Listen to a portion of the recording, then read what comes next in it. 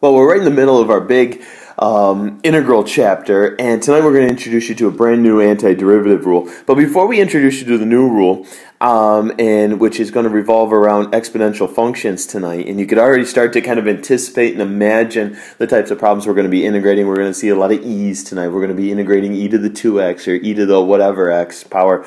Um, I just want to quickly recap where we've been so far. The first antiderivative we did was the power rule. We basically said, what if I've got x to the nth power? And basically, um, we're going to say, well, it's the antiderivative is x to the n plus 1. We're going to then divide by the new exponent. There's your new coefficient. Of course, we've got our plus c. And that rule is legit as long as n's not equal to negative 1. And then we talked about integrating all of our trig functions. Um, for instance, we might have uh, you know integrated secant squared, and we said the antiderivative of secant squared was simply tangent. There was a grand total of, of six basic trig rules that we introduced you to. Then we took a look at um, just a very generic u sub. We introduced you to the idea of you know how do I integrate um, you know the opposite of chain rule basically. This is like anti-chain rule I call it, and we said if you if you get an integral in this form, we're going to let u equal the inner function. And then, you know, by the time we calculate du and solve for dx, we're going to be able to cancel out all the x's. And then we, and basically we said u sub is going to be a technique that carries through through the rest of these problems. And we introduced you to a very special one, du over u, the other day. And that turns out to be the natural log of the absolute value of u plus c. So these are the four big themes that we've seen so far in terms of an indefinite integral. And we're going to just go ahead and add one more to that list tonight. So I just kind of want to play around with some exponential functions here just to get our mind uh, warmed up and in shape and uh, we'll just get start the process of thinking backwards. And I just want to recall if we were to derive, let's see, my d looks like a d. If I wanted you to derive e to the 2x, what would we say?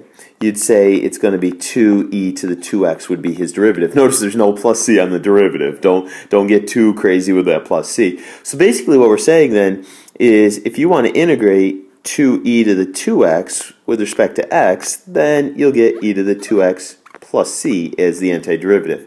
Or um, maybe we wanted to derive 1 third e to the 3x. You know, by the, uh, by the time I derive to the exponent, I would end up with a derivative of just e to the 3x. And so if you want to integrate e to the 3x, his antiderivative would be 1 third e to the 3x plus c. So when you're thinking backwards here, you kind of have to anticipate who the new coefficient's going to be. And that's going to be one of our more interesting challenges tonight.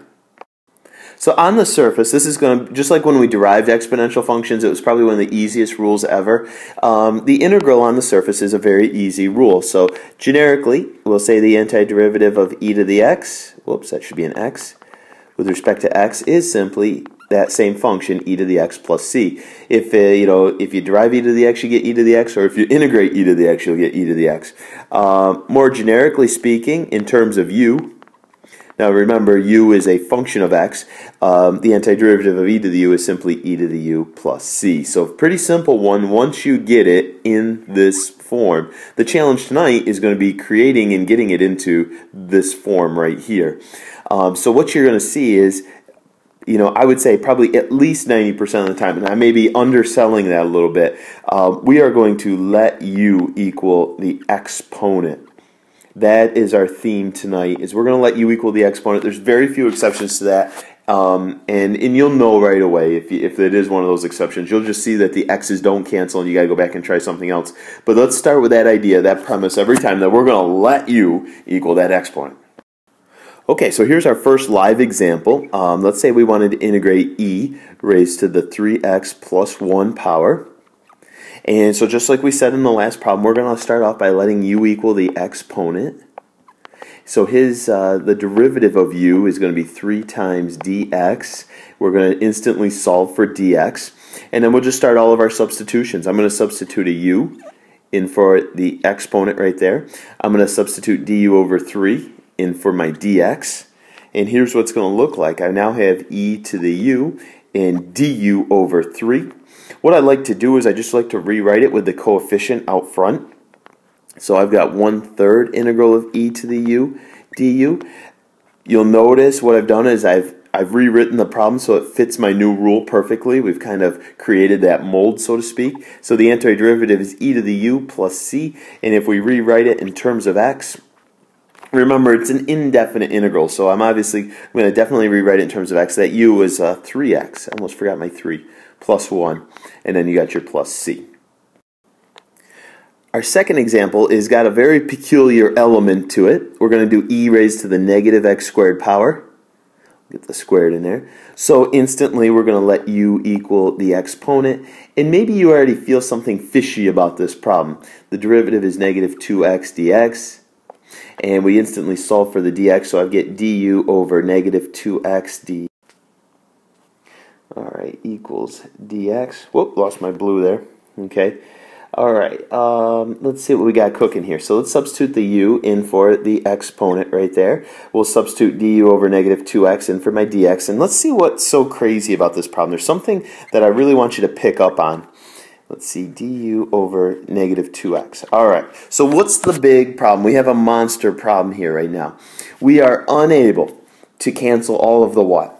Yeah, we're unable to cancel all the x's. This x right here has nobody else to cancel with. I wish there was an x right here in order to cancel this x right here, but there's not. So what we need to say right now is we cannot do this problem. All right, um, we may learn some tricks later in the year that help us jump around this obstacle, but right now with the rule we have tonight, we cannot integrate this problem. And I just wanted to show you one that has a very, um, I guess. Uh, strong dead end. You know, we're not able to cancel the x's, and this is where we've hit our dead end.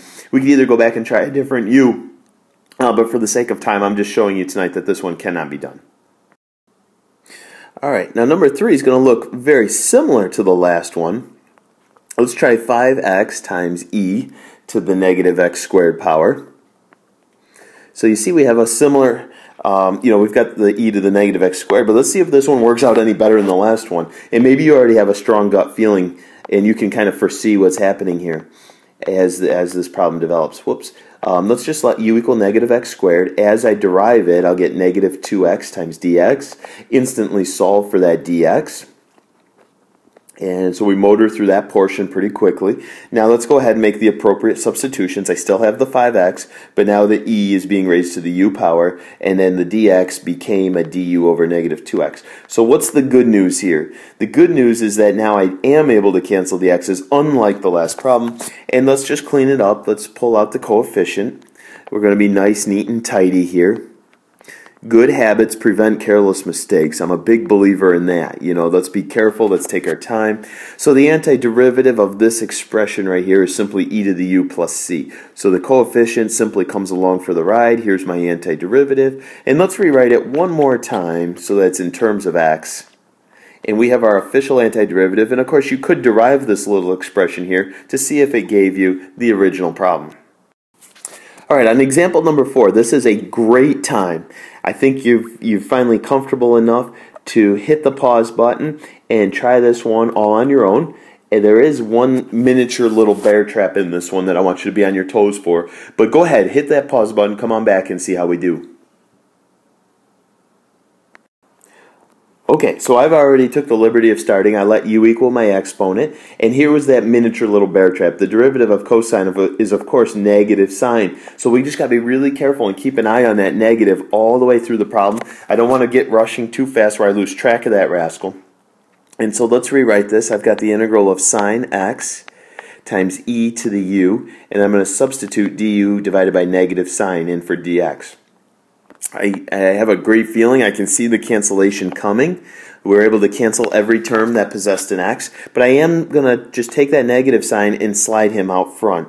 So I've got the negation of the integral of e to the u du. Uh, simply, you know, I've rewritten it in the form that I want, so I'm just going to negate the antiderivative, and this is negative e to the cosine x power plus c. Our fifth example, another great one. Um, let's let's use the the discipline necessary to go ahead and hit that pause button. We do have a fraction. It's e to the one divided by x power divided by x squared. Now you've got two rules that I've given you kind of conflicting with each other. Um, two videos ago I said, hey, if you're ever integrating a fraction, you've got to let u equal the denominator, right? And now today I said if you're ever integrating a, a you know an e function, you've got to let u equal the exponent. So you've got two things that are conflicting with each other, and I'm going to let you try to decide who to let u equal so that you get the appropriate cancellations and the appropriate integral worked up. So um, you know, go ahead, try try um, you know whatever you think uh, comes to mind, and see if it works, and come on back and see if we agree. All right, here's what I've got so far. I went with the exponent. I kind of had a better feeling about that one. I could kind of see the derivative in my mind and see that it's going to hopefully cancel out the x squared on the bottom here. Um, vice versa, I was, if I let u equal the x squared, I didn't foresee it ever canceling this term up here. So uh, that's kind of how I made my de uh, determining factor. But you know, I let u equal uh, 1 over x, and I rewrote it as x to the negative 1 so I could derive it a little easier. Now I'm going to go in slow motion here this first time, and I'm going to say, well, that's really negative dx over x squared, right? And so now as I solve for dx, I could say, well, that's negative x squared times du. I think it's really important to notice that now um, the x squared's in the numerator with the du. So let's go ahead and make some good substitutions here. This is going to be the integral of e to the u divided by x squared and times negative x squared divided by du. Sometimes I like to put that expression over 1 just to emphasize who's in the numerator versus who's in the denominator. Now we can see the great cancellation taking place. We've successfully killed all the x's. I'm going to rewrite it so that I don't lose the negative sign. We now have it in the very friendly format of e to the u du, whose antiderivative is e to the u plus c. So, um, and then we'll just rewrite it in terms of x. So I believe that was um, the u was 1 over x. And bada bing, there we go. All right, in our next example here, we're going to start to look at some definite integrals. Okay, and all that, what does that mean to you? What are you anticipating all of a sudden? You're anticipating an integral that has bounds on it, right? And so our answer all of a sudden is not going to be a function with a plus c at the end like it has been all day so far tonight. Now all of a sudden our answer is going to be a numerical value, and that numerical value measures what?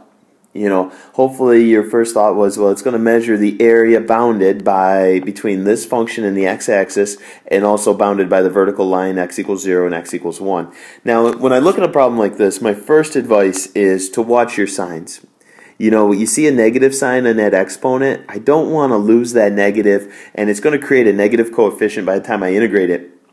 So here's what I've got cooking here. I'm going to let u equal the exponent. The derivative is a very simple negative dx, so all I got to do is move the negative over.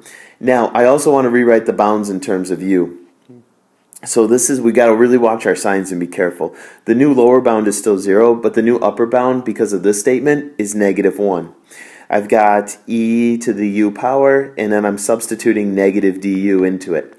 Now you'll notice if I pull this negative out, we'd actually have two negatives because I'm going to switch the bounds, right? And in order to switch the bounds, I now have two negatives, which make a positive, conveniently. All right. Now, as we integrate this, remember, we do not need to rewrite the antiderivative in terms of x because the bounds are already adjusted accordingly. We've Our first fundamental theorem says we'll plug in the upper bound, and then we'll subtract, and we'll plug in the lower bound. So all I have is 1 minus 1 over e, and that's the numerical value of the area bounded between that curve and the x-axis.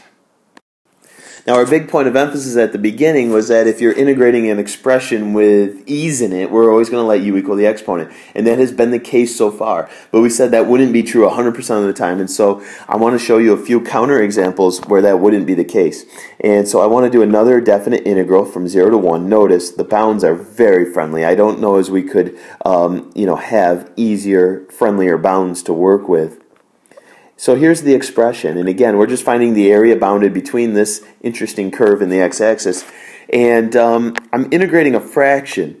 And so that was another, you know, like we talked about a couple problems ago, we could let u equal the denominator, and I think that's going to be a great idea.